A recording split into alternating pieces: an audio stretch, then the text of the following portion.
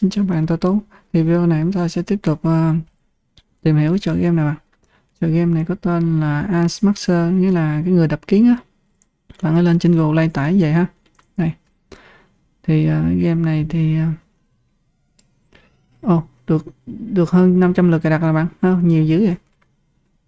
Này tôi tải lên chơi chơi thôi chứ không quảng cáo gì đó.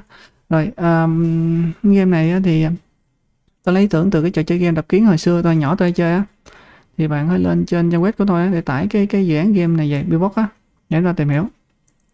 Rồi. À, tôi cũng có một làm một cái game tương tự vậy nhưng mà không phải đập kiến mà đập uh, zombie bằng những con zombie á. Thật ra cái cái mã nguồn cái gốc nó cũng tương tự thôi tôi chỉ thay đổi cái nhân vật thôi.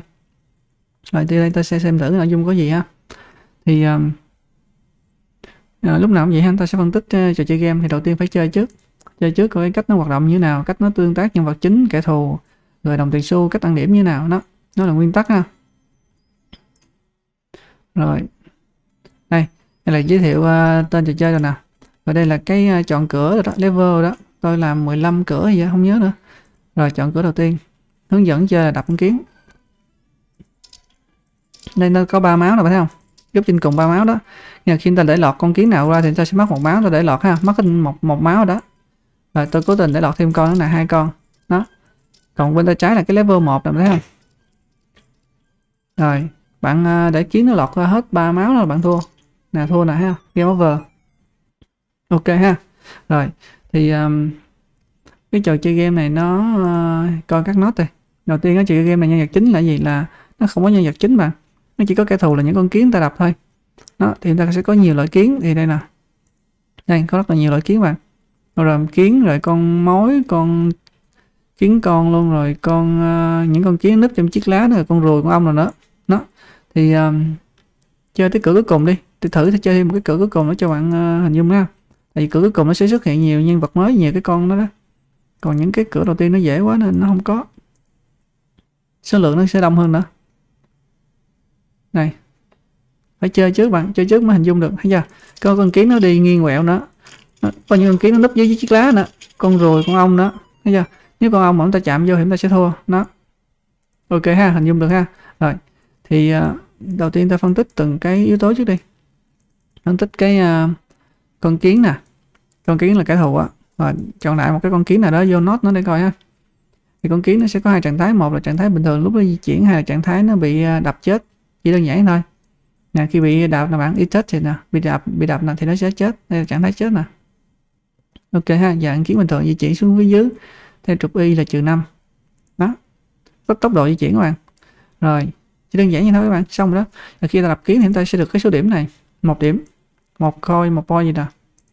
rồi thì cái số điểm này nếu mà những cái người mà người ta ta làm game để ta bán các bạn ta kinh doanh á thì uh, dựa trên số điểm á thì người ta sẽ mua được những cái kỹ năng hàng hóa trong game á.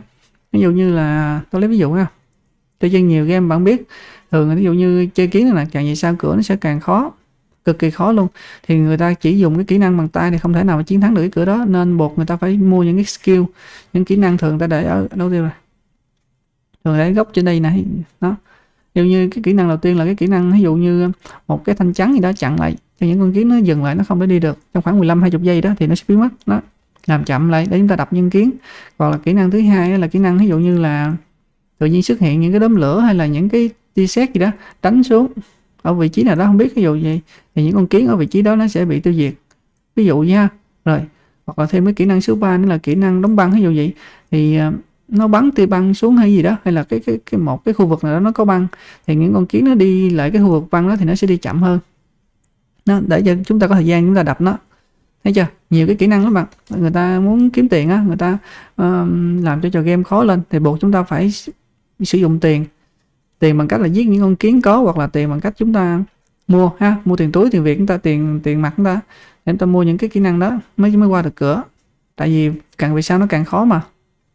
Ok ha, nhưng mà này, tao làm game, tất cả game tôi như vậy, tao làm game chơi chơi để chúng ta học tập thôi ha. Học tập giải trí với biết được cái cái cách để tại sao làm được vậy thôi. Nên tôi không có lòng mấy cái đó vô. Đó. Nên, nhưng mà tôi cũng có trải nghiệm rồi ha. Các bạn chỉ cần chơi bình thường đây thao tác nhanh thôi là tự động qua cửa à tôi đã chơi đến cửa cuối cùng luôn rồi. Nên đừng có lo. Đừng lo chuyện mà mua mua hàng đó. Mua mua ờ đúng rồi. Mua kỹ năng đó. Rồi.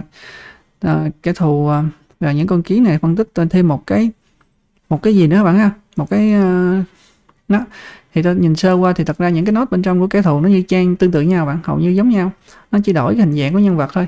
Và một số cái cách chuyển động. Ví dụ như có khi là chuyển động xéo qua trái qua phải.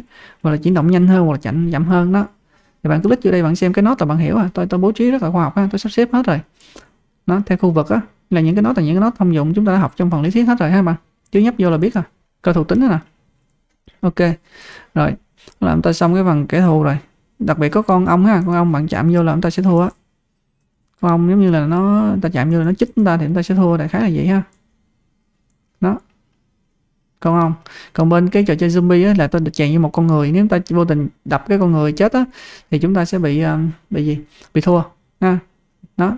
Mỗi cái trò chơi nó sẽ có một cái uh, gì đó. Ừ, ừ rồi. Uh, kẻ thù rồi nhân vật chính rồi ăn tiền xu. Tiền xu thì không có bạn bạn chỉ cần giết những con kiến là bạn có tiền xu à. Rồi uh, cách chiến thắng thì dễ lắm. Uh, cái con kiến trên trên đây nè bạn nó đi từ đây cho tới hết đoạn đường thì chúng ta sẽ thắng. Thật ra tôi quy định cái thời gian nó đi bạn ví dụ như là 60 giây hay là 90 giây đó, tôi không nhớ nữa. Thì đi đến cuối đoạn đường này thì nó sẽ chiến thắng thôi, qua cửa mới. Còn thua là sao? Thua là ra dưới đây tôi để một cái thanh dưới đây nè. Khi con kiến nó lọt, nó ra khỏi màn hình đó là nó va chạm với thanh này, thì chúng ta tính là mất hết một máu. Thì ba con kiến chạm với cái này là chúng ta sẽ thua. Mất hết ba máu, thấy chưa?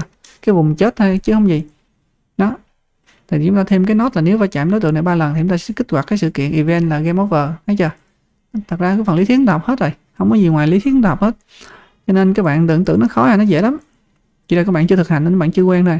Nên tôi cố tình chia sẻ những cái file này cho bạn tự tự tự tìm hiểu thêm á. Các bạn sẽ ờ, thấy ờ, tự tin hơn. Rồi. À, sao nữa ta? Vậy là xong đó chiến thắng rồi. Cuối cùng là cái phần phần giao diện đúng không? Giao diện thì à, nó cũng đơn giản thôi. Đầu tiên là giới thiệu trò chơi. Nó có nhiều lặp lại hoài bạn. Đầu tiên là giới thiệu tên trò chơi rồi à, menu level cửa chơi rồi sử dụng câu khóa nè hay là không có sử dụng ổ khóa. Nó rồi à, tiếp theo là hướng dẫn chơi. Thấy không? Cuối cùng là cái đến là giao diện khi chơi đây giao diện khi chơi game UI đó. Rồi khi chơi thua thì nó hiện gì game over. Nó khi uh, tạm dừng thì hiện cái gì? Còn khi mà chơi thắng thì sẽ hiện cái gì? Nó vòng vòng có nhiêu đó bạn? Dễ lắm. Có mấy cái nốt làm lại hoài có giao diện có nhiêu đó à. rồi. Đó là xong bạn. Khi chơi, thắng thì nó sẽ ra cái này. Nó lít cái nút tới thì nó sẽ tiếp cái đường link nè. Bạn thấy cái đường link màu vàng không? Nó sẽ chuyển tới cái cửa level tiếp theo. Gì thôi đó bạn. Bạn thấy nó dây nhợ nhiều nhiều. Bạn tưởng nó khó. Thật ra nó dễ lắm. Bạn làm từ từ từ từ ban đầu là bạn thấy nó cực kỳ dễ. Không có gì khó. Nó từ từng bước từng bước một tới đến cuối cuối cuối cùng là chiến thắng win nè. À. rồi tôi làm như là 10 15 game á. Ôi xin lỗi 15 level 15 level. Ok ha. Rồi cái game này cũng dễ thôi. Kết thúc cái game này đi. À, hẹn gặp bạn hẹn gặp các bạn trong các trò game tiếp theo ha. Tôi là tú đã dẫn các bạn trên trang web là phankim com. Hẹn gặp lại các bạn.